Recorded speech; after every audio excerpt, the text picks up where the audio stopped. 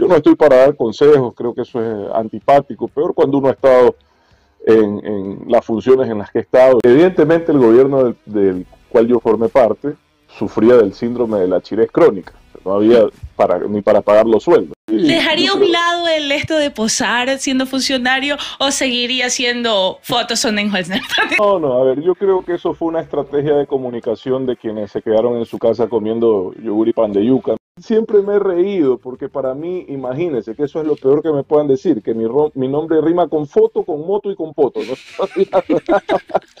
ya que anda de profesor por allá, por, por Harvard, de fellow, si tuviera que calificarlo al presidente Lazo, ¿qué nota le pondría?